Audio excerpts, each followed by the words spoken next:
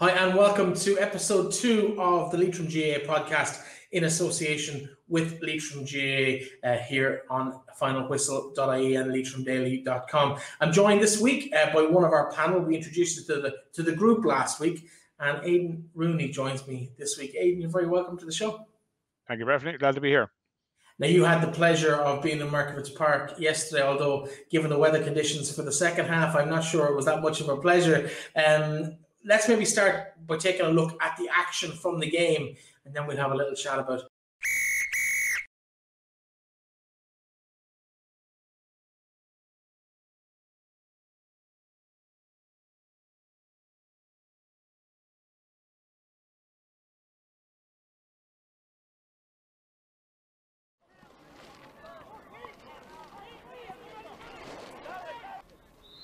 And we're underway. This clash is underway here for Leitrim and Sligo. And Sligo won the breaking ball. Cian Lally gets the ball again. Niall Murphy, the full forward line, way out of his position at the minute. Goes into Red Óg Murphy. Red Óg Murphy tries to turn his man. He looks, he's looking at the post. Will he a shot at goal? He looks at the post, and that one looks good, and that's over the bar. First point of this match, and that's for Red Óg Murphy. The ball goes long, but it looks like Leitrim might win this one. It's caught very well, and a mark there from Dean Rinn from Dolan He plays it in to the full forward line. That is Evan Sweeney. Evan Sweeney finds his man. It's Keith Beirne on the ball again. Keith Beirne bounces the ball. Looks for the post. That one looks good again, and that's over the bar. That's second point in concession for Keith Beirne. Dolan a well known handballer as well. Won in, won in All Ireland as an underage player. That one off his unfavoured uh, bad foot, and that one's gone over the bar. Sligo will see if they can go on the counter attack and put the sides level once again. Niall Murphy uses his bad foot, then bounces it, then he goes to go across field to find uh, Cian Lally. Cian Lally catches that one. Could be a goal scoring chance here. Paul McNamara. A good save on this occasion by Benny Flynn. A glaring goal opportunity, but maybe the wrong player got it on the wrong occasion. This comes out to Mark Plunkett. Mark Plunkett, a talented footballer.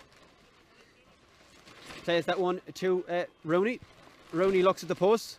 That one looks good. That one's over the bar. Another point for Darragh Rooney. Oisin Madden plays it in to Mark Plunkett. Mark Plunkett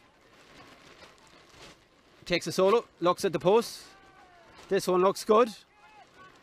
That one isn't good indeed. That one's over the bar from Noha man.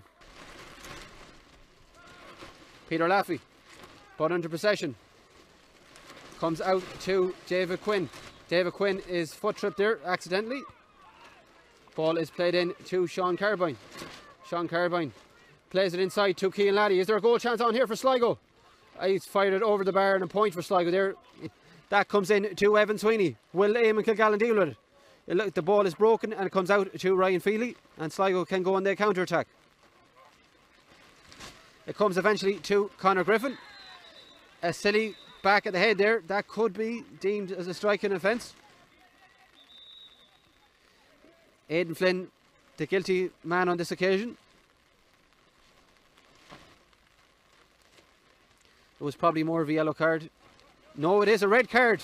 And Leitrim are down to 14 men. Aidan Flynn getting his marching orders. That ball is kicked in long to Darragh Rooney. That will come to Killy McGlone. A lovely pickup by uh, the Melvin Gaels man. There's a goal scoring chance here for uh, for McGlone. It's well saved by Eamon Kilgallen. A great save there by the netminder and that will result in a 45 uh, for Leitrim to go and go and attack again once again. It comes to Nathan Rooney. Nathan Rooney uh, is well marshalled there. He will try and see what he can work on this one. It comes to Red Óg. Red Óg plays it to Niall Murphy.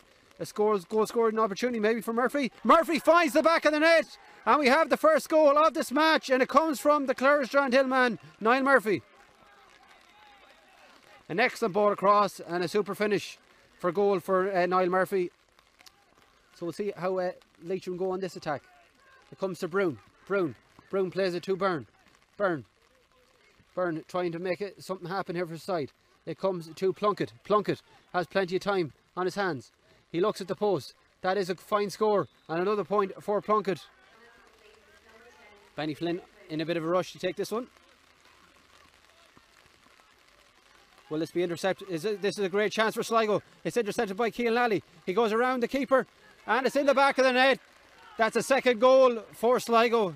this time Cian Lally, and you would have to say that's curtains now for Leitrim. You would have to say Sligo are going to come away with the victory here today.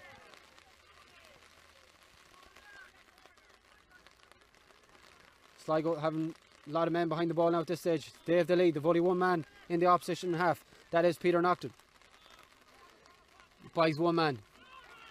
Will this one go over? That one looks good from Dolan. That is over the bar from the Glencar Manorhamilton man.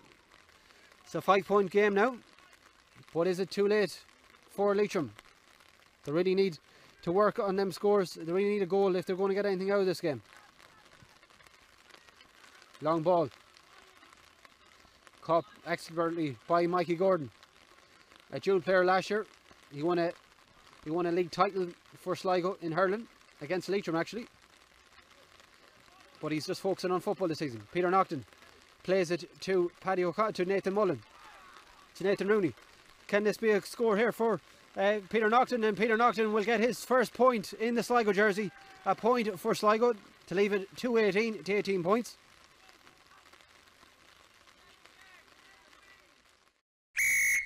Uh, you, of course, had a foot in both camps. Well, you you're one foot in one camp and maybe a toe in, in, the other camp with your son Nathan, who came on for, for Sligo, was involved in a couple of their scores later on. A disappointing result in the end, seven point defeat to, to Sligo at the first round of the league. Uh, it was, yeah. Like at the end of the day, I suppose going into the game, Breifne, you know, we were all talking about, um, you know, I suppose Leitrim from last season, and expecting that Leitrim to come out this season. And I kind of the general feeling consensus was that if Leitrim kind of played to their potential, or sorry, last year's potential, that they would probably overpower Sligo, you know, in the sense that Sligo was such a young team out and basically we're working from a clean slate from Tony McEntee's point of view. So like my own feeling before the game was that, you know, although I was torn a little bit, I suppose, from the from the from the emotive side of it, you know, I did feel that Leitrim were favourites going into the game, you know, genuinely, because I thought that Leitrim's experience in Division Three of the season, their performances last year, you know, I suppose in adverse conditions, I suppose, you know, with COVID and everything else, I thought the performance levels were quite good. The Mayo performance was a decent performance in championship football, although in the wintertime. So everything leading into this, um, but the one uh, variable we didn't know was, you know, I suppose how much work the teams had done in the in the in the lockdown period, and and that's very hard to quantify. Breifne, you know, um, being involved with the senior club team at the moment, and seeing them coming back on the pitch at the moment and how they're behaving and how they're how they're, you know, the county scene was kind of something similar, you know. Guys on programs in isolation, all that kind of stuff that was coming into play, and very much looking at the games that happened over over the over the weekend before in the hurling and you know even even this weekend's football games there were some major gaps in teams you know that you wouldn't expect i suppose notably kerry and galway for one but some notable gaps you know mayo and down the same you know you wouldn't expect that type of gap generally in league football. So going into the game i suppose you know there was a few well there's plenty of variables um but i would have expected leitrim you know to, probably to hold sligo out um, you know, with the with their power running game and all that kind of stuff. But I suppose that's not the way it unfolded on the day. Yeah, um, I suppose some of the talking points, I suppose, of the game from a Leitrim point of view, uh, having looked like we were in the ascendancy in the first half, that sending off just before the interval just seemed to turn the momentum completely, and Leitrim never really recovered from that. Well, I've, I've I've watched some commentary today on social media in relation to that, you know, and I suppose there is fair commentary to say that a player being sent off shouldn't have an outcome on a game where you're competitive in the game. You know, so I suppose uh, Aidan Flynn sending off, it was a correct decision, you know, looking at it back afterwards.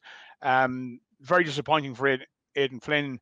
But more importantly, at that time in the game, I think Leitrim were commanding a three point lead over Sligo for most of the first half. They were they get a three point lead, Sligo would close it back to a point. Leitrim would open up to three points again. It was that kind of a game. It was very, very fluid from end to end. 23 scores in the first half. You know, but and at the end of the day, Sligo got the last two scores before half time. You know, they put Leitrim on the back foot. The sending off happened. So all those variables, along with the conditions changing at half time, um, made for a different second half. You know, we were very excited in the first half, I suppose, in the commentary box, looking at the game. It was an electric game. It was super football to watch from an entertainment point of view.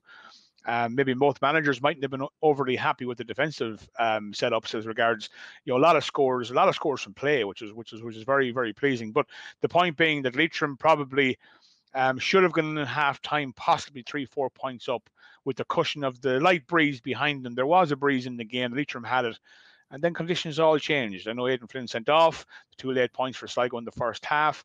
You know, plus the rain came um, and changed the dynamic of the game. The dry ball changed to a wet ball, and the wind decreased as the rain came. So all the advantages Leitrim had had, you know, in, in the first half, kind of, you know, were kind of washed away, and it became a very kind of, um, I suppose, even playing field in the second half. A couple of minutes of brilliance from Benny Flynn in the first half, one phenomenal save, and then I suppose a minute of madness in the second that led to to Sligo's second goal, and that was really, I suppose, the the final nail in the coffin in terms of the, the competitiveness of the game. It was, but I, I think looking at the game, you know, from our perspective, I think at that stage Sligo had the ascendancy in the game. You know, they were well on top. They were running from deep. They had the extra man. You know, Leitrim were kind of running into a brick wall anytime they attacked. They were looking for sparks of brilliance from one or two players to get their scores. You know, it didn't look like Leitrim were creating scores easily, and they weren't. Um, at that stage the game, Sligo were very effective and they were creating scores easily. But I think the goal before that actually had taken the wind out of the sails because Sligo had the ascendancy. They were a point ahead. The goal put them four ahead. I think that at that stage you could see, you know, visibly in the ground. I know there was nobody there, but you could feel the air coming out of the game at that stage. And Cian Lally's goal then was probably the icing on the cake from a Sligo point of view. You know, poor mistake from from Brendan Flynn, absolutely. But I think at that stage, to be fair to him, um, the game was gone. You know, from our perspective, we didn't see any way particularly we kept talking, I suppose, about the Ryan O'Rourke influence and the possible influence of Ryan in the game if he had played or committed the game. But it looked more and more obvious as the second half went on that Ryan wasn't going to take part in the game. You know, we were watching the bench closely. Um, and I suppose maybe that was a trigger that maybe Terry might have been able to play that card and give themselves something to, to bite onto, maybe at the four points down where you still have something to play for. But I think, yeah, the last goal did finish the game off from a contest point of view, but I think the game was over before that. Yeah, I think it's also fair to say that, uh, like I mentioned, he had kept us in the game in the first half with a couple of of, uh, of fantastic saves. It's very easy to kind of point fingers at a goalkeeper. A mistake at that know, absolutely. Bertie. I, I, wouldn't say at all. Like it was a collective Leitrim, Leitrim um, poor performance. You know, overall, there were some sparkling displays from a couple of individuals, absolutely, and the first half in particular. But in the second half, as a team, Leitrim didn't perform, and that's to be fair. What Terry has brought to this, he's brought you know, he's brought a massive team ethos and work rate, and that just didn't seem to be there in the same way that it was in the last couple of seasons during the game. You know, Leitrim didn't find that. Paddy Maguire made a couple of very isolated long runs up the field, I suppose, to take Niall Murphy out of the full forward line primarily.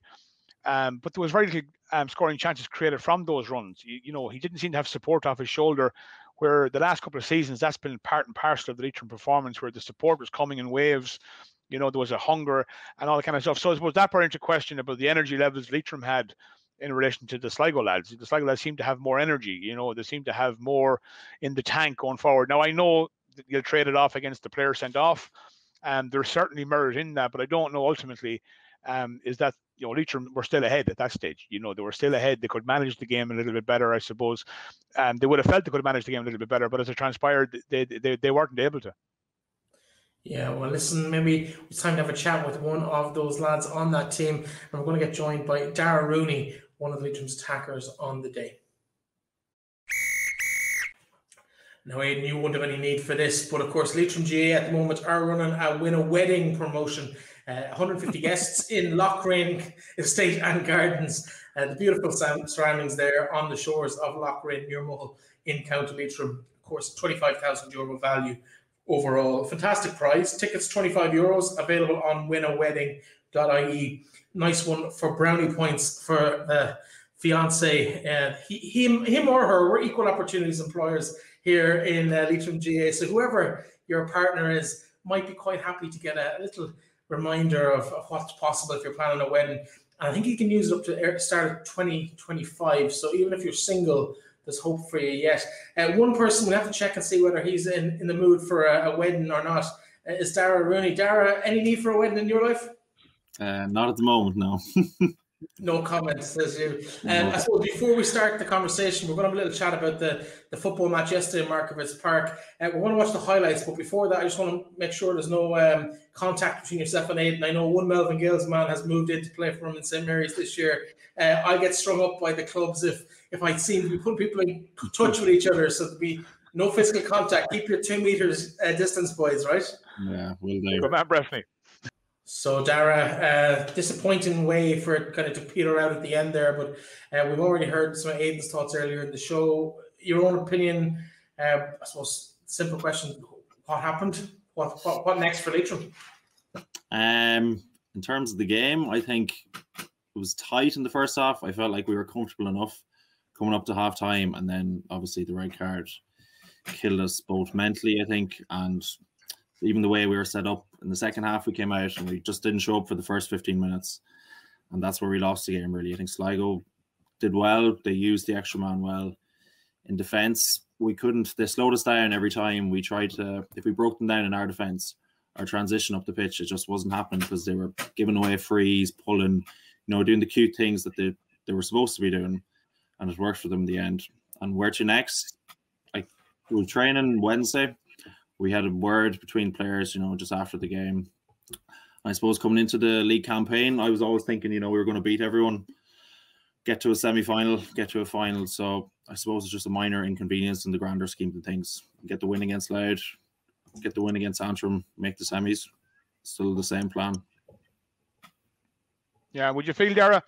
I, I know yesterday, I suppose I, I watched the game and the first half was was was super. It was brilliant football from a point of view of um, entertainment value. Like there was was 12-11 and it was scores, you know, both ends of the pitch coming frequently. I suppose defensively, maybe you look at it and say, like neither team defended well. You know, the forwards were very good on both sides, and you know there was five scores in the Leitrim forward line, and there was six scores in the Sligo forward line. It was a very effective performance from both forward lines. Would would Terry have been happy enough with that? You know, with it, or, or was he disappointed with the with the defensive side of the game? Yeah, well, of course he's going to be disappointed with the defensive side. Like I thought in the forward line, you know, we were on fire. Myself, Keith Beirne, Evan, we all popped up scores. We were playing well, but I think we were just very loose in defense. I think we were all kind of bombing forward, and then both teams, like Sligo, were hitting long kickouts. We were hitting long kickouts, and if it just wherever it broke, whatever team got it, they were nearly scored straight from. It was just score after score, and it was poor now from both teams. Defensively, we'll have to look at ourselves and try and set up more, maybe implement the sweeper a bit better for next week yeah, against well, suppose, yeah, Jack Heaney, I suppose, played the sweeping role in the first half, and you know, it kind of a traditional role for Shane Quinn. You know, so I suppose the question that I'd be asking is, you know, has has have those roles kind of changed or have they evolved? I know you're only back a few weeks training, and it's very hard. I know you had a game against Fermanagh. It's very hard to kind of you know get things back on track.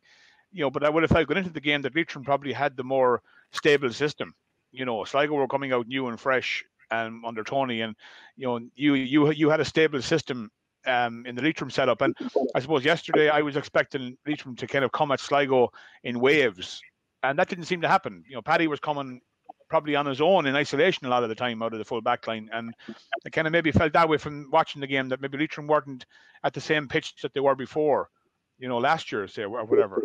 Is, is there that sense around the place that maybe, you know, that you kind of let it slip yesterday and that you have to kind of get get back to work?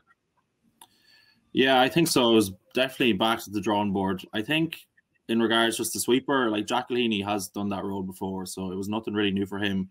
There might have been a bit, of confusion at the start of the game because Mark Plunkett was obviously he was kind of playing centre back, but he was given the free roam mm. to go forward, and then Jack would hold the centre back position. Yeah, yeah. When yeah. Mark was there, so maybe there was a bit of confusion there in the first half, and then just in regards going forward, I suppose like as a defender, your main job is to defend and you don't want to commit everyone forward to like Paddy's been doing that you know his whole life he's one of the best in the country at it and I think just the rest of the lads were maybe a bit too focused on defending and weren't mm-hmm. You know expressing themselves enough going forward and they're maybe the first game of the season they're probably a bit afraid to go forward and leave the gaps in the back when they should have been bombing forward and helping out the attack it kind of looked that way, I suppose. Like you know, having been around all the Leitrim games in the last couple of years, and seeing the way the team, the fervor the team played, they Leitrim smothered teams in the last couple of seasons. You know, they would have smothered them as regards their intensity. You know, dropping in their ten and twelve, or you know, just bringing back that volume of player. You know, it didn't seem to happen the same way yesterday, the same intensity. And I suppose, you know, there was always a question going to be how teams are coming back in, Darragh, you know, as regards their mm-hmm. fitness levels, not so much the fitness levels, but the intensity levels and, you know, how much work was done away. It just looked, it looked yesterday as the game went on. I know the sending off was probably, you said, a mental thing more than a physical thing in the sense that you know it might have sapped you mentally more than physically. But it just looks as the game went on that Sligo were finding it easier to find their legs in the game. You know, Leitrim seemed to be you know more laden. You were getting less chances up front. You weren't getting as much clean ball into you. It was becoming harder and harder to get get that ball fluidly into you. Where the first half, the ball was going much earlier, you know, into good pockets, and you were getting on the ball much earlier. So, I think, what was there an energy level thing in this in the second half with Leitrim? Um, I think there was a bit of fatigue. All right, you have to remember though, like when there is when we are a man down, every player has to work that bit extra. Mm-hmm. So yeah. you're doing the extra little bit of mileage compared to where the Sligo lads, like we would have to as a forward line, we'd have to go back and help out the defense every single time. Whereas the Sligo lads, you know, they can take the odd break. And then I suppose whenever we did turn over, it was tough for the likes of me, Keith Beirne, Evan, whoever was in the forward line to make that sprint back up and get back in position. So I think definitely fatigue was a factor in the second half, but it had something definitely something to do with the red card.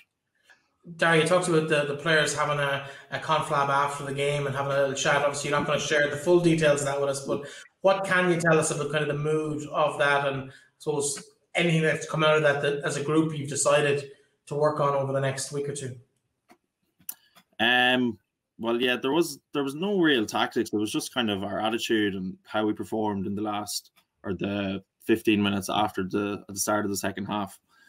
We just felt like we didn't, you know, do ourselves any justice. Like the heads went down, as I was saying, the mental like aftermath of the red card, the heads definitely went down. We can't afford to be doing that. Like we kind of realized before the second goal went in, we'll say the Sligo second goal, like we were catching them. We felt like we had momentum, we were going to get them, and then that was just a killer. It was just kind of classic Leitrim mistakes, you know, when you're finally getting a bit of momentum, doing just silly things and just not taking our chances as well. Like we did few goal chances that we didn't take, where Sligo took theirs, and goals win games at the end of the day. Yeah, it's, uh, Eamon, Eamon Kilgallen made one fantastic save in the second half. I think, I think it had a, it, it, had a really, really big impact on the game. You know, I think at that stage, if Leitrim had scored the goal, you know, I suppose Sligo got momentum. You're right, 50 minutes after half time. But look, I suppose Darragh, we've talked a lot of the negativity of of of losing the game. Um, yeah, but from the positive side, you know, Sligo have to travel twice now. You know, Leitrim are home next weekend against Louth. So you're right in what you say. Their, their roles could be reversed very quickly next weekend. You know, Sligo have to go to Antrim and try and get a performance again and win on the road, which is going to be difficult. You know, against McGinley's outfit, and you have Louth at home in Carrick, and we were all down at the Louth game away the last time you played, where you were dominant. So, like, there's definitely I know there's Mickey Harte factor, but from from our perspective as supporters and watching the performance, I think you're right. I think you know from our perspective outside, if the attitude is still good in the group and there's still a togetherness and there's still a momentum, like absolutely the whole thing can turn on its head next weekend and then make the last weekend then you know fully championship fair. The two winners take take the spoils, and that's the way I would see next weekend from a supporter's perspective and having known the kind of um, you know the, the the passion and the heart that's in the team and what, how they've performed over the last you know three seasons, let's say, is the third season under Terry. So, you know, I'd be saying I'd be looking at the glass always half full still, you know, and I and obviously ER as players, 100 percent, I suppose, with the realization realization of taking the good stuff and the bad stuff out of the game, you know, yesterday. Like there was fantastic positives like 18 points is a is a huge score to put up in a game, you know, and a lot of quality scores, like a lot of quality scores got from long range. And I know same what we said for Sligo, but the point is that if we can capitalize on that next week and get our defensive, you know, shape, you know, more solid and more what it what it was, you know, I know Aidan Flynn's a loss now next weekend, but you you know, I would be very very hopeful that we can get a performance and get a win next weekend. Yeah, definitely. That's our thinking as a camp as well. Like, you know, as I said, it's just a minor inconvenience. The road to Division Three is still well and truly up for grabs. If we get our win next week, you know, we'll have momentum then going into the Antrim game. It might come down to score difference, but as you said, 18 points to lose and score 18 points, that is a massive positive to take from the game. Yeah. Yeah.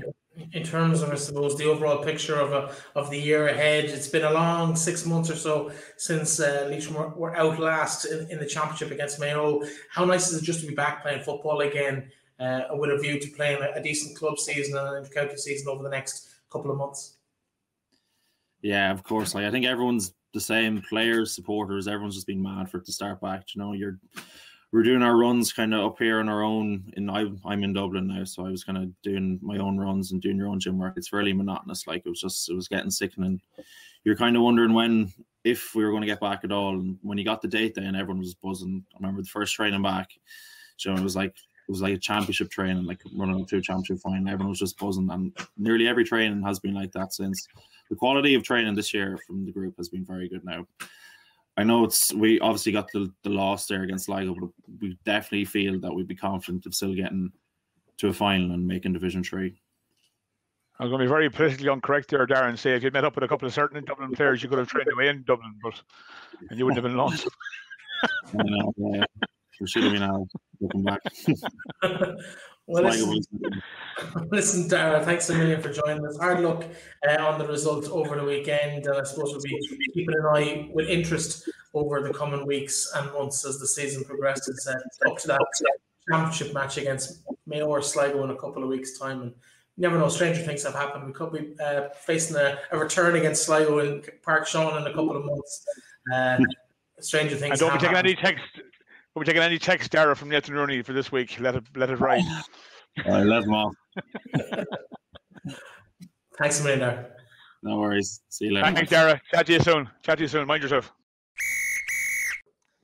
Now, of course, while the footballers were in action in Markievicz Park, it was left to the hurlers to keep the home fires burning. And Park Sean McDermott yesterday afternoon, uh, David McGovern led his hurling side into their first game of the National Hurling League Division 3B and of course Louth in opposition. It wasn't to be uh, a great day for Leitrim, beaten with the last puck of the ball uh, by a single point. David, welcome to the programme. Thanks very much, Breifne. Delighted to be here. Well, first of all, we better address the elephant in the room, which is, of course, before we even get onto the, the football or the hurling, should I say, is uh, that accent. That doesn't sound like a, a Leitrim accent. What's the origins and how did you end up in the, the Leitrim jerseys? That's a very very South Leitrim accent. I think um, it sort of changes. It used to it used to go back and forth when I was younger. Now, in fairness, I used to spend the summers down, so I used to be coming back to Blanche with a fairly thick uh, Leitrim accent at times. Um, no, me both parents are from Leitrim. Um, I've been going down since I was young fella. Um, parents are both both from both sides of Mohill and uh, from farming background. So I suppose I was always um always loved to get down, mess around on the farm with the horses and bits and pieces. So I've been going down there a long time, so that's where that's where it stems. Of course, now you play your trade with Peregrines up in Dublin, uh, where obviously your, your home club. Uh, what made you choose Leitrim? Was it the opportunity to play National Hurling League? Oh, it was the celebrity status, Breifne, and everything that goes with it, the women and the money. Um, I, know. I thought, Zach, I thought Zak Moradi had, um, had had carte blanche on that. well, Moradi actually has that. Moradi has that sewn up now. Fair play to him. But um, I know. I suppose um, I suppose it's something myself. I wouldn't really talk about too much, but something I'll always sort of proud of. I always consider myself a Leitrim um fella, even though I didn't grow up in Leitrim. Never, never supported the Dubs. Um, always had a Leitrim jersey when I was young. Always went down to watch Leitrim footballers play. So I suppose I always carry that. And I suppose there, there is there's a lot of dubs probably similar to me for, with parents from uh, country backgrounds, and it goes either way sometimes. But I always sort of kept the the Leitrim link, so um, it was something I was always really proud of, and still am. So what you're saying is it's all his fault then? It's all that man's fault, kicking kicking balls in '94 and that sort of stuff. That's where the that's that's that's where it started for us. Like, and I suppose we we would have went down. I suppose maybe just after a few years after '94. Um, myself, my father, my uncle, we, we, we would have went down to every championship game. So would have been really, really big fans. We'd be getting up at six, six o'clock in the morning, getting the train down wherever it was, Galway, Mayo, Leitrim. So was, we had some really, really good days. And I, would be reminding people of, of the football back then in the early 90s and late 90s. Like, and there was some great, great games, like, and great, great teams. There was, remember, there was a Mayo game, Carrick-on-Shannon, but they were very lucky to get out Mayo. I think bet Leitrim by a point and stuff like this. And then it's, you know, back then it was your year over, like, you know, as well. So it was, really fine margins.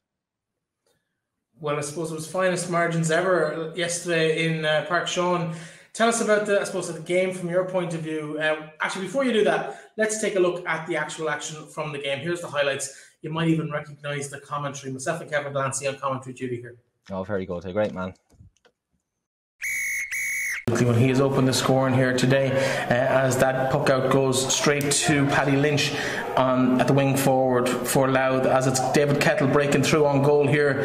Uh, he's under pressure from Cian Mallon, but managed to get his effort towards the goal, but unfortunately to the right and wide. Michael Bryan's quick kick out is picked up on the left hand side.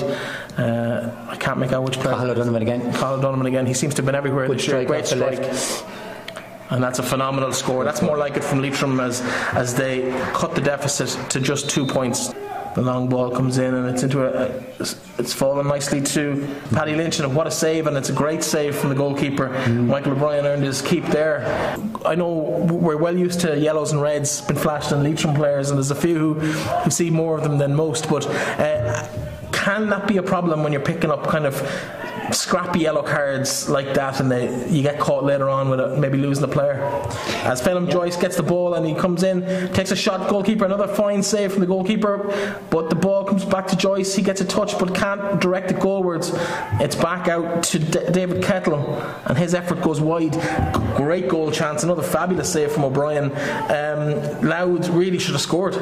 Yeah, but uh, like you said, Breifne, a great save by Michael O'Brien. Not only the first time, but the second time as well. He had to scoop it back. You know, so sort of a double save there in the one movement. This this guy Brian Keown, he's a Galway referee. Bit of history with one of our lads, Liam Morton. He actually sent Liam off in uh, the Connacht Club Championship game in Markievicz Park two years ago uh, for, for two yellows. So Brian Keown, he's familiar with.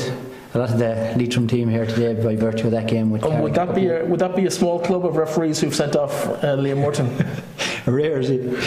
I think it, mi- he might not. It might not just be a, a minority of one in terms of the referee fraternity. That is some score. And again, Darren Gagan has shown it. He doesn't care where the ball is on the pitch or where the free is. He's going to have a crack. And the goalkeeper, Michael O'Brien's a long way from goal, but he's going to punt this down to the far end of the pitch. Colin Morton preparing for it, but no no uh, contest there at all from the, the Leitrim forwards as the as Gagan collects the pass, but a loose stray ball from him. James Rooney's on it, and he will have a pop at goal. No, he won't. He'll take the ball back and give it to Gavin O'Hagan, and his teammate in Cloneen Amont. I think they're actually related. Uh, the Rooneys and the O'Hagans are uh, all in the one family there. And oh, it's a goal. And Colin Morton, he mightn't have contested the last one, but there's absolutely no nothing. Oh, the referee's going in for a little conversation here with the with the umpire. Yeah, he's going to Put raise up the green flag. flag. The green flag's gone up, and Leitrim are back in the game. Yeah, so now we make our way down towards the, the right hand side of the field, and a good puck out there, and it's well won by. I suppose it's come back to the Leitrim man actually in the end. A bit scrappy but possession on the less. Conor McDermott on possession in midfield. A bit of a sliced one, but he's found his teammate, and it is. Yep, fantastic from Liam Morton, and he's into the brother column. One hand catch, and Yes. another fantastic goal. Morton, a second goal from that combination of brother feeding brother. We were just talking about family dynasties here, and, and they're one of the ones over the last five or six years really have co- come into their own in the in Leitrim hurling. But a really good quarter from Leitrim. They really laid down the marker, and hopefully now they can drive on. You know, the f- first five minutes of this quarter is going to be crucial if we can uh, maintain our lead and maybe even add to it if we can. Yeah, I'm just doing my uh, process of elimination here. 22 is already on for Louth. Uh, Thomas McCreesh, we've mentioned him a few times in the play, so it must be. Oh, that's a great catch and dangerous, and oh, great block there from McGovern, but it comes back and it's a goal, even though it comes through the net. It's very obviously a goal. Uh, the ball Paul. Matthews. Yeah, fantastic score there. Paul Matthews, 1 2 for the day for him. From a decent bit out, is almost on the halfway line, just under the, the stand here in Park Sean McDermott, and he strikes it nicely. Uh, and again, it looks Great like score. it's a great score. It drops right over the p- crossbar. Everything, distance, range, the whole lot, accuracy, and it's uh, one point between the sides here. Yeah, I think I think Leitrim now should should should press on here. Huey has it now. Just let it up to the forward. Huey, let it up to them. Good play. Good play by Leitrim. Nice and The controlled. teammate in there to James Agnabola. Where's the time? And looks for Colin Morton on the outside of the. Oh, lovely play by Liam Morton. Oh, Liam Morton has, has switched in with his brother, and that's a great That's a score great from Liam score Morton. Liam. So anything you can do, I can do better. He's going to have that conversation at home. But Liam Morton, he started the game at centre back. He's at put Leitrim one point up at the moment, two, and he is. Turned it's over. Evan Marr who breaks free with it, but he's hooked, and now it falls to Ryan Walsh. He did, he makes no mistake this time, and that's well done. I think it's Paul Early there again, is it? Could get a free. Yeah, then. done very well again there, Paul Early. And Paul Lenihan. Two of them. Oh, there's a few. Uh, Oh, Paul Lenihan is senseless what he's doing here. yeah, I don't know, did he touch a man's face guard? If he did, he's in bother. Yeah, no, it's, the rules are clear. He touched the face guard, it's a red card. And the linesman is assisting the referee here now. So Paul Lenihan, I'm afraid, is going to be in trouble here. And w- again, the silly part about it was there was no need for it. Yeah, and also We Paul had the free Matthews one. been called in as well. So the two men in discussions, yellow card for one. Matthews, And, and, a yeah, red. red for Paul. Yeah, it's a tough, tough break, particularly given the, the nature and a reversal of the free, which Yeah, is, is nearly a bigger a bigger punishment at this stage. And everyone's looking at the referee now to see how long he will add on in this situation before it breaks to Louth, and Louth could seal this with a, a long range effort now.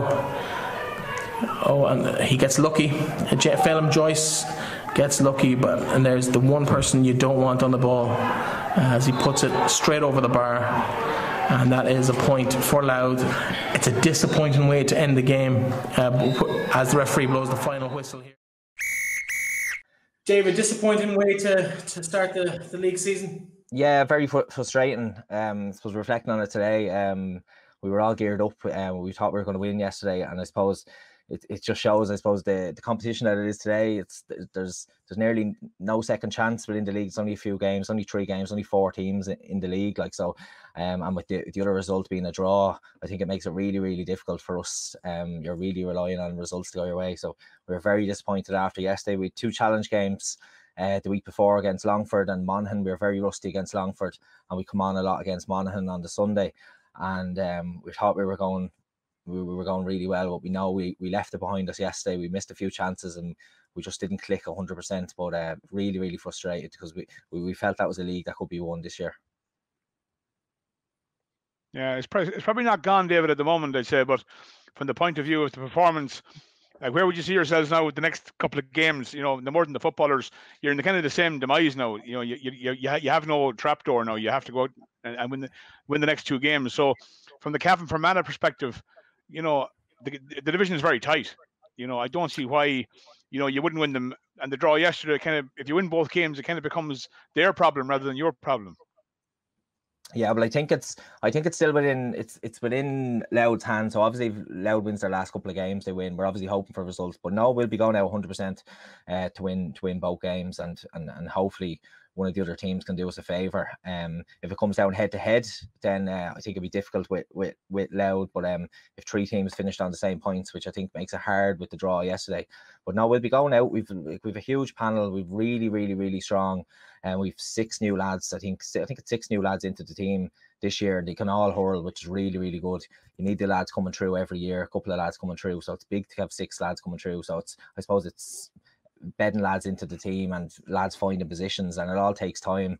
We we've been on our Zooms uh, throughout the winter, which was really good, but you need to be on the pitch, you need to be working together, you need to be hurling together to know how everyone's playing and how everyone's going together. So I think we've only had the three or four weeks, which every other team has in fairness. But um yeah, we just feel if we had even a, we'd love I'd love to play them tonight. I'd love to play the game over. Or if we had the game next week, I feel like we'd we could win by seven or eight points. But that's the way. How do you how do you, how do you feel how do you feel David the lockdown has gone for you as regards you know I, I just talking to Breifne earlier on there about you know the footballers and you know the difficulty and I've seen it down here even, even in, in the in, in the club scene you know how do you feel it it went for the hurlers as regards you know the the contact and the zoom and you know the tracking of the fitness stuff and how do you feel that went like do you feel that that was up to what you would have expected or was it more difficult to keep track of it I think it was funny. I think uh, I think the way things happened. I suppose we had new management that came in um in December 2019. So like just before say COVID had started and we, we, we were playing the league and we were going really well in the league and we got to um league final and we were we were due to play league final against Sligo on the Sunday and I think then on the Thursday was when the games were all called off and then we were you know right in no man's land and stuff. So we were going really well, and we fully expect, as we always do, is going to every match like we are going to win. But we fully expected to beat Sligo. We had played them in, in, in a really really tough uh, league game and, and lost by two points, and we felt like we'd co- come on an awful lot from that game. So um, the lockdown then, yeah, we were training, we were putting in our plans. I suppose at the start we were throwing in our runs on the WhatsApp. I'd say it was what what every team in the country was doing.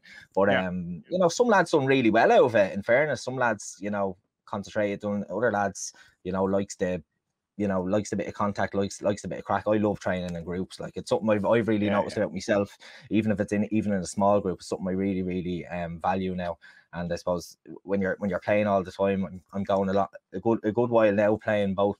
I play a bit of football when I can with the club and play hurling, and it's it's it's something you probably take for granted, like even just a bit of crack going down. So Yeah, I know our lads now this week, you know, would have found the club, you know, coming back in, you know, the intensity was way above what they were doing on their own, although they were working very hard on their on their own. You know, they found when they came back into the group session that the intensity was up. Did you lose any people with injuries over the last couple of weeks? Was there any injury issues or there was a few injuries, yeah, but you're you're you're dead right. Like that's the nail on the head. Like it's a different game. You can go out and do your sprints on your own. You can do your runs on your own. I'll never push myself as much on my own as even if I've one other lad with me, I'll run a bit faster. But um, it's it's the drills, it's the thirty seconds tackling, it's that sort of stuff. That's the fitness. I get. I think I get me mostly fitness out of challenge games, not with games when you're up against it, when you have to sprint, when you've no other option, um, but to go. But um, yeah, no, we have had a few injuries over the last um couple of weeks, lads, and that's very frustrating as well. Lads just back and then they're out injured, like so. It's very, it's very hard on them. Um, we had um Aaron McDermott, I think uh, Martin Feeney as well hurt himself yesterday, so I don't really know how they are, but we had had a few injuries leading into it, which which doesn't help. But again, it's it's the same, I suppose. Every every team in the country, there's probably going to be hamstrings gone and all this sort of crack now over the next while. In terms of the game yesterday, though, I suppose just before we let you go, we're kind of running out of time here. Is actually the the actual the major talking points. The two goals in the first in second half for Leitrim, uh, very similar. Liam Morton puts the ball in, Collie gets on the end of it and flicks one in and, and catches one and buries it. Um, it was a really nice momentum shift for Leitrim, uh, and and it looked like Leitrim were going to push on from there, but. It just didn't quite work out. Injury time. Maybe we might even talk about that. The goals kind of speak for themselves injury time, a point up, in control, we win a defensive free, and then it all just kind of goes wrong, really. Yeah, and I think I think them things happen. You mentioned Collie and Liam like as well. Like the boys were working well together. Like I think if anything, we probably could have got a few more balls into Collie. Like he might he might have done a bit more damage. But um, there was a bit of controversy going around around whether we were a point up or a point down or was it level and were we bringing a man back or what was going on. So um, there was there was all that sort of stuff. But it's you know that's the exciting part of the game. That's the part you love. Like the last couple of minutes, you're you're you're out there and you're making you're making decisions and things happen and things happen in the heat of the moment as well. Like and um the one thing I'll say about the lads is they're they're always really committed and anyone who's come to watch us over the last few years will know like they, they love coming to see the games because it's always great crack because lads will always put put in a shift. They'll always they'll never never never ever lie down.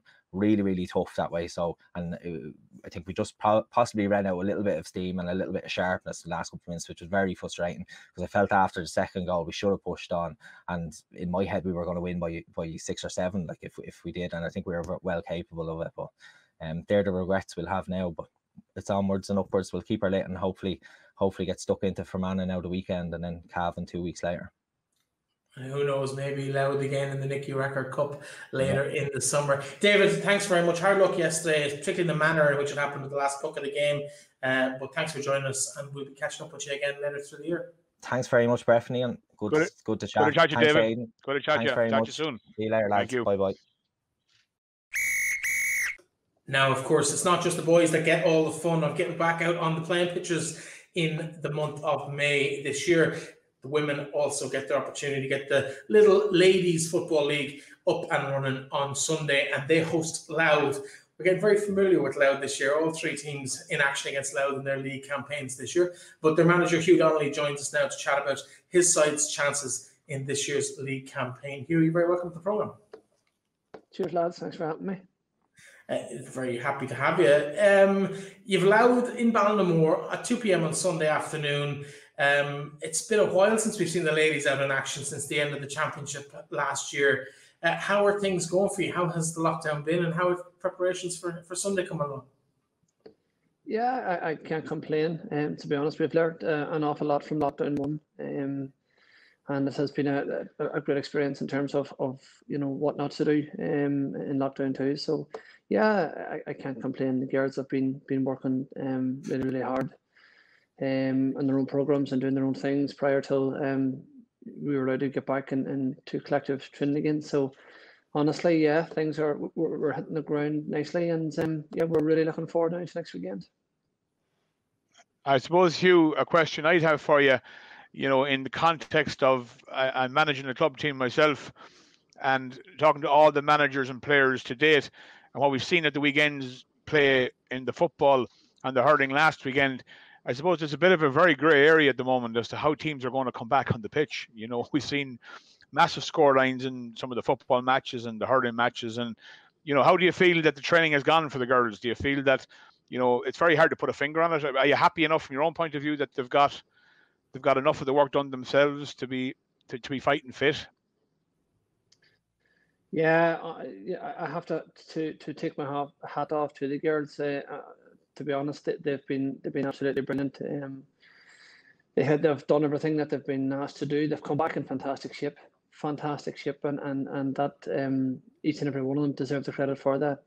Uh, in terms of preparation, we've had two challenge games now, and um, things are, are tipping along nicely. We've gradually um, got better over the two games, and, and things are starting to click into place. So uh, overall, I'm, I'm more than happy where we're at. I, think we're, we're just coming nicely now to to the Louth game. Obviously, we've um, they beat us last year in the league, and you know it's, it's an opportunity now for us to to go out and, and rectify that result from last year because we didn't perform, and and that kind of um. So look, it's everything's um heading nicely towards it, and, and we're looking forward to it. Good. And as regards the um, you know, the injuries, um, some of the lads teams, you know, would have had, you know, maybe issues with injuries coming back in into, into the group training environment where, you know, obviously the intensity goes way up when you're back in a group a group environment. You have you, no injuries at the moment. You happy enough?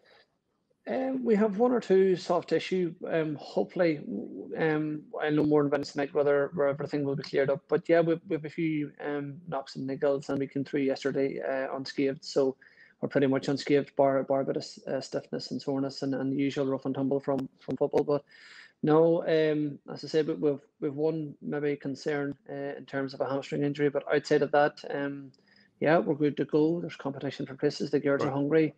Um, so yeah, it's it's it's it's all guns uh, all guns to go on, on Sunday in terms of the actual squad for the game on Sunday, I suppose um, people will be familiar with most of the players who featured last year for you. Any new additions into the team that we might not have been uh, expecting? Um, we have we've brought in a, a, few of the younger girls, a few girls who who um, I've seen quite a bit of over the, the championship com- uh, campaign, the club campaign. Um, Rachel McIntyre being one, um, Abby Sweeney being another girl, and, and, and Caroline uh, Gockian as well, a, a, young keeper coming in. So we've brought in a little bit of youth and and you wouldn't believe what they brought to the table in terms of just um, it's like they're always been there that they're they've fitted um, really well. And and uh, yeah it's, it's nice to have a little bit of youth and it keeps the keeps the elder generation on their toes as well. So um, yeah it's, it's it's it's it's good to have them in suppose two names that we'd be well used to seeing on Leitrim teams over the years. Uh, one featured last year, one didn't, and they're both playing in the Women's National League in soccer at the moment. And um, Devaney's been lighting it up with Athlone Town, while uh, Derval Burns top of the table with Peamount. Uh, any chance of seeing either of those two girls in the Leitrim jersey for the league, or maybe later in the year for the championship? Uh, yeah, look, listen, uh, and credit to, to, both of them. They've been in constant contact with me um, from the day dot, and, and I've been very aware of of what they were um, planning to do and what what they wanted to do in terms of of moving forward with with their their, their um, own sports. So um, at the end of the day, I suppose, especially with Muireann in terms of her soccer, um, it's something that, that she's always wanted to do, and it's a you know anybody's dream and ambition to to try and go on and represent um, their county. So in terms of of Muireann, you know the communication skills have been been excellent. And um, so I know exactly what she's training, uh, how often she's training. So it goes across that, that, that line of, you know, player burnout and, and trying to to look after players to a certain degree. I know the training load she's under, so and, and likewise. So it's um yeah, look, you know, they they are still there in the panel and we'd like to, to hopefully see them at some stage, um, whether it be this Sunday the following Sunday or whatever, that they're still there and, and my God, that they're two fantastic players to to have there to, to bring in, in or, or to start or whatever the case may be. So it's great to have them girls there to um if and when we need them. Funny you, I was in um I was in getting my vaccination today and I, met her father, Eamon. We'd be we'd be long long friends from, from way back when we were kids. Um, so I was talking to him about it actually, and I said, but very, one thing, and I'm sure you know Dervit is the same. She has a burning ambition to play for her county. Um, you know, I, I know her since she was a small girl, and uh, you know, it's it's great to see. And I suppose it, it kind of puts it in context, you where we are in Leitrim. I suppose at all at, at all levels of sport, like we can't afford our best athletes not playing for us. You know, and I'm sure you're you're seeing that as much as as any manager in any code. You know, in a county where you know we don't have the massive resources and I mean volume of players other counties might have. So I do empathize with you. It's a, it's a tough situation to, you know to be in, and you know the girls I know they they they they'd long to play for their county. So you know hopefully hopefully you get you get their assistance and their help as it goes through uh, to get your goals achieved. Yeah, look, it, it's from from day dot. You know, one of the, the the things that I try to bring into the squad this year was all about accountability, and and you know, as long as players are, are doing look work for example or college or there's things in life yeah. that's going to crop up uh, and it's really important that we try and get the balance right and you know I, have tried to make it very clear from the girls look you know catch up on your sessions do your sessions um, throw them into the groups so that everybody sees that the sessions are being done. And it's all about, about accountability. And as I said um you know both girls are, are blessed with an unreal talent outside of Gaelic. So it, it's it would be very unfair um you know of, of me and you know of, of Leitrim GAA to try and, and force their hand. So look, I'm about long enough now to to realize that um, these girls have goals and ambitions and dreams and and you know to represent at the highest level. So as I said, um, I know exactly what they're training. I, I know exactly in terms of, of how much they're doing. So there's no way that I'm going to, uh, um, you know, the girls come to training when they can in terms of even there to, to, to stand and, and observe in terms of what we're doing so that when they do come back into the fold that, that they're up to date with everything in terms of style of football and, and how we're setting up and things like that. So look, I, and the girls are aware as well. So that's the big thing. Um, so no, listen, I, I'm more than happy to to to um to know where they're at at this particular time. So yeah. all's good. There's no doubt. Now, reading up your resume today, Hugh, um, and apologies for not knowing as much about you. I read it today, but you have a vast experience at this level. You've been around a lot of counties and you have a lot of work work done. So I suppose, in your point of view of Leitrim, where does it fit in? You know, from where you've been in, you know, Donegal, Cavan, and Tyrone to date. Like, is it is is it is it comparable? Uh, I'll tell you one thing, uh, and I genuinely mean this in terms of, of of a bunch of girls who have bought into something. Everything that they've been asked to do, they've done it um, to the best of their ability. They're a, a genuinely, uh, they're a great bunch of, of girls to work with, and there's hunger there. And I suppose when you don't have that and, and you know the prop there wasn't a proper structure in place for a number of years um, and I suppose when it's all new to these you have buy-in and, and once they see the results like we had a fantastic run last year until COVID and, and um, hit in and we probably would have went up last year and, and now we have another opportunity. And I suppose that's one thing about COVID in, in, in terms of of what it has brought to us. It's you know we just don't know what's around the corner. So it's a great opportunity now. The hunger's there for the girls um but overall, they're a great bunch of colleagues to work with, and and um, look, they're hungry for success, and, and I'm just, I suppose, uh, my job is, is more of a, a facilitator or, or a mentor in terms of, of that because when a team wants to to progress and a team wants to to to move forward, then it makes my job a hell of a lot easier. So um yeah, no, listen, they're right up there in terms of, of hunger and desire and, and everything else. Everything that you'd want from from a team when you're taking over them, you know. Hugh, you talked yeah. about yeah, Hugh, you talked about the um, I suppose that that motivation and that uh, momentum that was built up ahead of the COVID screeching halts that came in March of last year, and I suppose the vibes have been great coming out of the clubs, the county board, um, your, your appointment in, in the job, players' reaction to that, and really buying into the the Leitrim County side and I saw firsthand the numbers of training and the application was phenomenal. COVID came and really for the last maybe 16 months, 15 months, it's been a real challenge for everybody in every walk of life, whether it's business, personal lives, whatever, uh, college, uh, you name it. We've all had to deal with different challenges. How has it been keeping yourself motivated, but also a group of girls when you don't really know when next Sunday's date was going to be until a couple of weeks ago? Yeah, I suppose uh, first and foremost, in terms of of Zoom, we, we kept uh, quite a bit in contact with Zoom, and we done a bit of a bit of work on, on terms of the mindset and where we wanted to go, and and the, I suppose what we're trying to do is change the culture to a certain degree in Leitrim as well. So first and foremost, we had lots to work on over over COVID, and um, it's not as if we, we kind of disappeared off the radar. We we we done lots of work in terms of of, of talking and meeting, and kept things going on, and I think with last year being so successful in terms of of how well we were going, I think the girls realised that listen, you know, if we could once get back into it, and, and suppose with the shorter season and the shorter window now, that leaves everything a bit more. There's a bit more edge to it. There's a bit more excitement to it, and, and everything's a little bit more condensed. And, and even the club season is a lot more condensed. So everybody's just now at this stage um, looking forward to to getting out and champing at the bit to try and to uh, to move on, and more importantly to progress on from from where we were last year. And um, look, I've made this very clear on numerous occasions that the the ability and, and the talent in Leitrim is is unbelievable. It is it is probably the most underachieved county in terms of ability that I've ever seen. Their the potential is here in abundance, and I suppose it's just um, success breeds success. And if we can get a little bit of success, then you know we'll put ourselves back in the map in, in terms of of attracting other players out and, and things like that. So yeah, as I said, um, I, I can't complain with the gears. Their application to date has been absolutely brilliant in terms of Sunday's game, uh, Louth in town.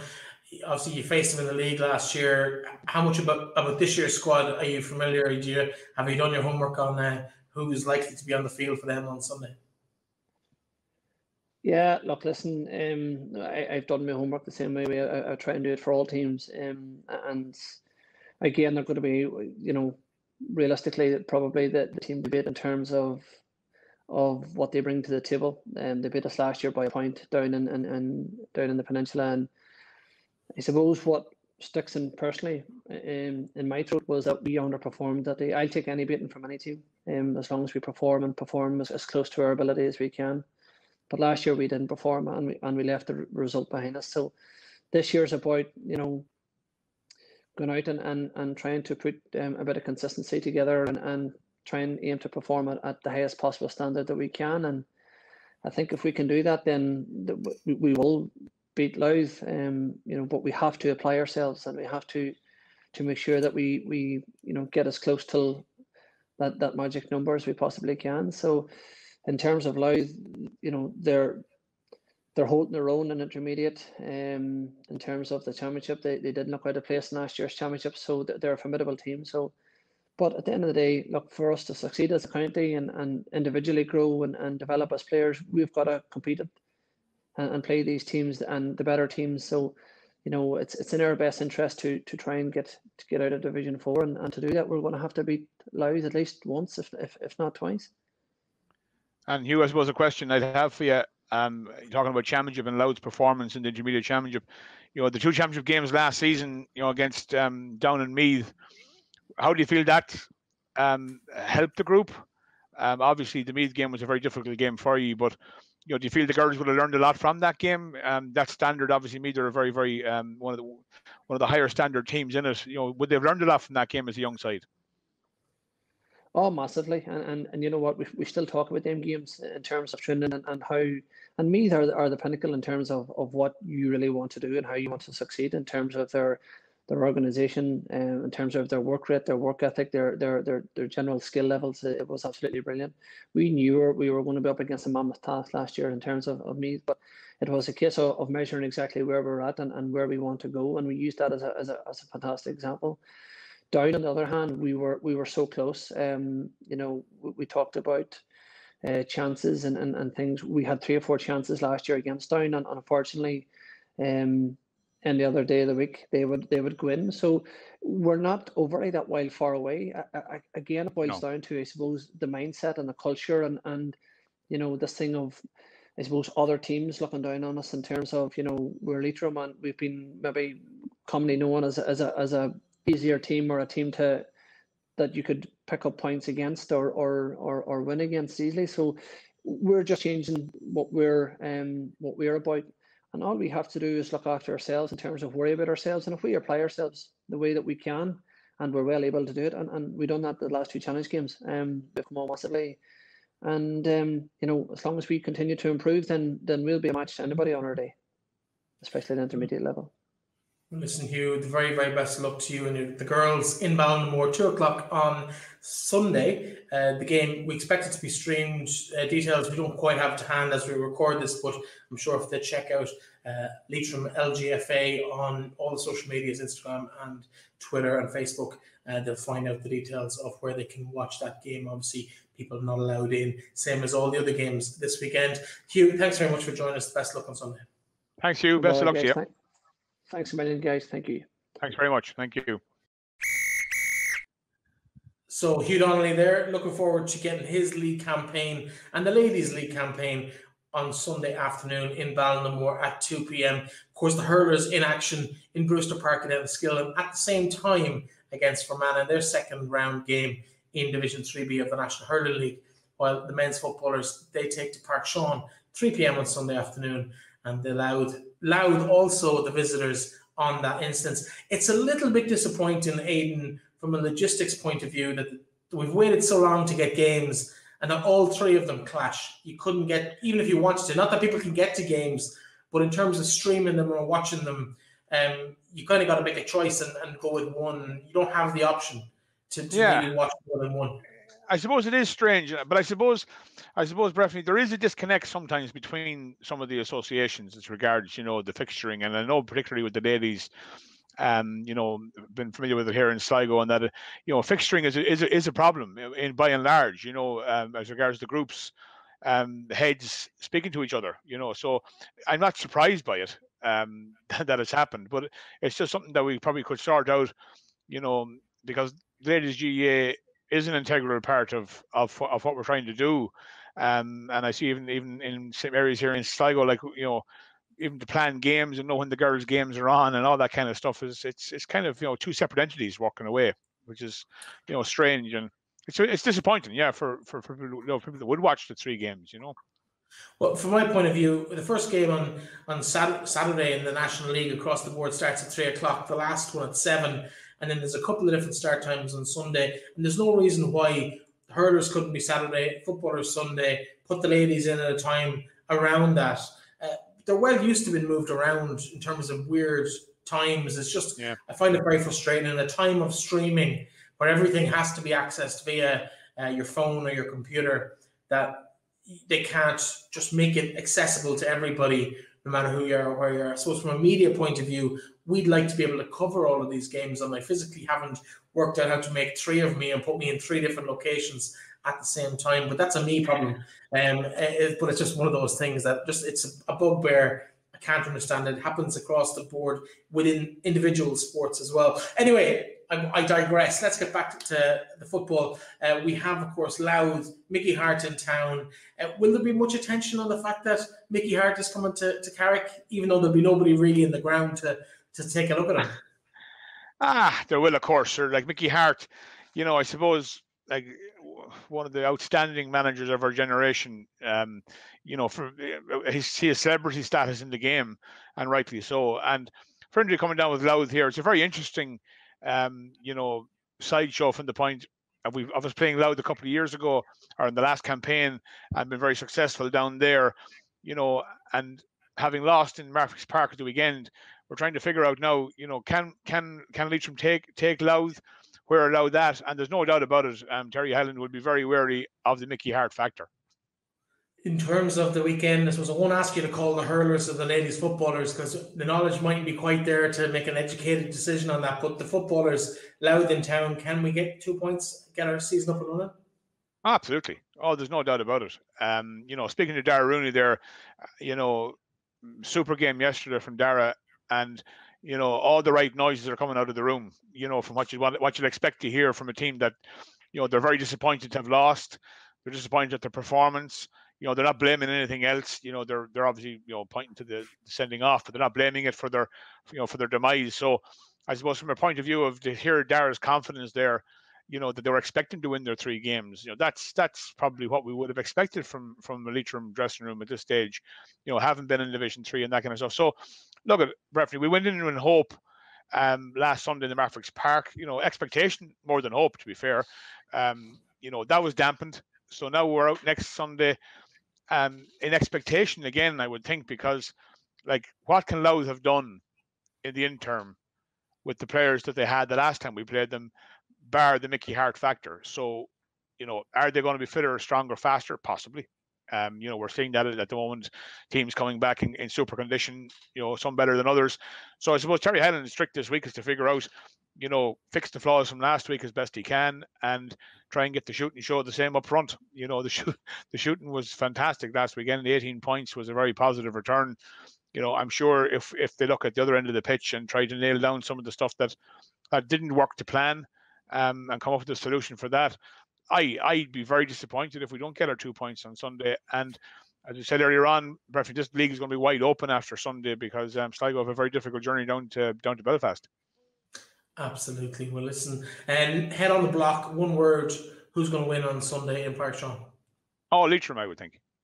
Excellent. Well, Aidan, thanks very much for joining me. Thanks also to our guests across the whole show, to David McGovern of the Hurlers, Darragh Rooney of the county football team and also the ladies football manager Hugh Donnelly. Don't forget you can get your hands on the Leitrim GAA Supporters Club tickets. Uh, they're all available on leitrimsupportersclub.ie and also that outside chance to win yourself a wedding. Uh, you could always have a, re- a, renewal of your wedding vows, Aidan. What do you think? What should be up for it? Well, I, I have three kids, Breifne. Uh, and there's a possibility they might get married too. So I think, I think well, there's definitely something's going to happen, I'd imagine. So yeah, we could put the put the put the 25 grand on on on on, on, on ice for a couple of years. Well, listen, get yourself over to winawedding.ie and you might uh, have a, a very comfortable day out in uh, Estate and Gardens in the coming years. And of course, that price is eligible until uh, January 2025. But there's a little asterisk there as well. I'm sure negotiations are possible on that. Aidan, thanks very much for joining us. Uh, to everybody who's watching, thank you very much for sticking with us for the last hour or so. Uh, don't forget, you can follow the show anywhere you want on Leitrim GAA's platform, Leitrim Daily, and of course on Final Whistle as well. Don't forget to subscribe on YouTube and wherever you get your podcasts. I do recommend Spotify. It's probably the easiest place to get us week in, week out. It'll come straight into your phone. Uh, talk to you again next week when I'll be joined by a former teammate of Aidan's, Colin Regan.